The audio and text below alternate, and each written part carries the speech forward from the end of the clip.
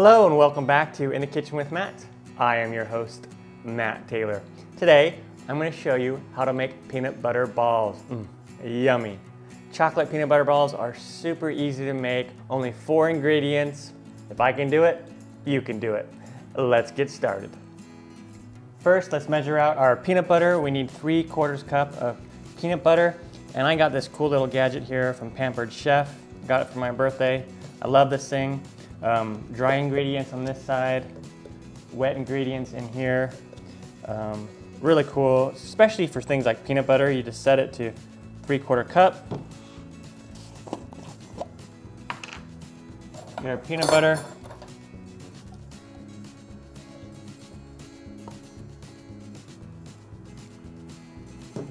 And then once it's full, what you do, you just come in here and you push, boom. Take a knife or spatula and scrape off the rest. No digging into your measuring cup. Pretty cool. I'll put a link down below if you want to pick one of these up. They're really, really, really handy. All right, and I'm gonna add one tablespoon of butter. I'm gonna just mix this around a little bit.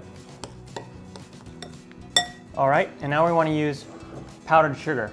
I have two cups of powdered sugar, but I'm not gonna use, I'm not gonna dump it all in. I'm gonna do a little bit at a time until I get the consist consistency I want.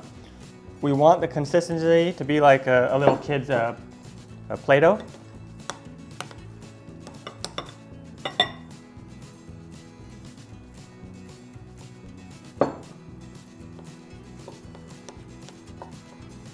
Okay, and then when it starts to get really nice and thick like this, what I do like to do is come in with my hands and just kind of knead it a little bit. All right, so it resembles like a Play-Doh, not sticky at all, ready to go. Now, I have chocolate candy melts here. Um, I'll put a link down below where you can get these. They also sell them at like Walmart, Target, places like that. I'm gonna melt this in the microwave on bursts of 30 seconds. So 30 seconds, stir, 30 seconds, stir, and then 20 seconds, and then that should melt the chocolate. You can also use a double boiler if you like. Once our chocolate is melted, I'm gonna go ahead and take some peanut butter in my hand here, and we wanna roll it into a ball. I'm gonna make this about an inch in diameter, and then I have this little tool here. It came with a little chocolate kit and it's really cool. You can just put your peanut butter ball right on there. You just dip it in. And then it makes a nice little ball like that. I go ahead and put it on parchment paper or I have a silicone mat in my, on my uh, baking sheet. Another thing that's fun to do is to come in here and decorate it. So like on this one, I'm gonna take some nuts. This one I'm gonna put some little chocolate chips on. This one I'm gonna put some coconut on.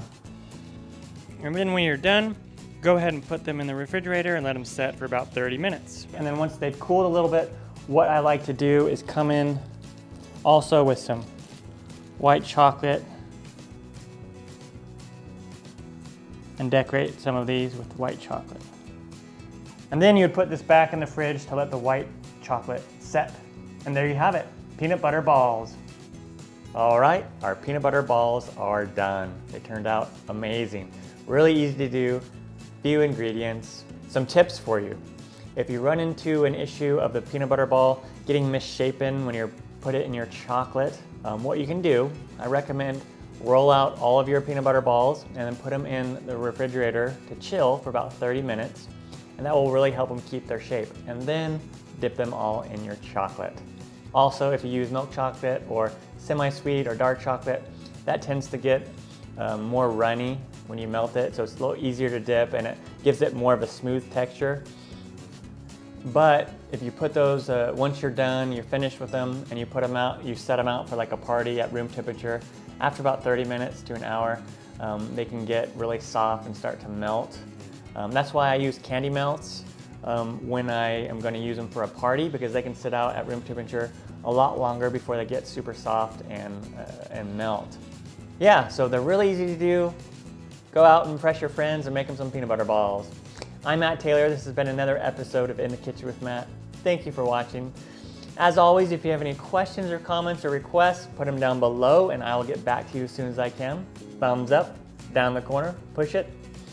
Don't forget to subscribe to my channel and check out my other videos. Take care. Time for me to dive into one of these. Oh yeah, I'm gonna dive into this guy right here. Mm -mm -mm.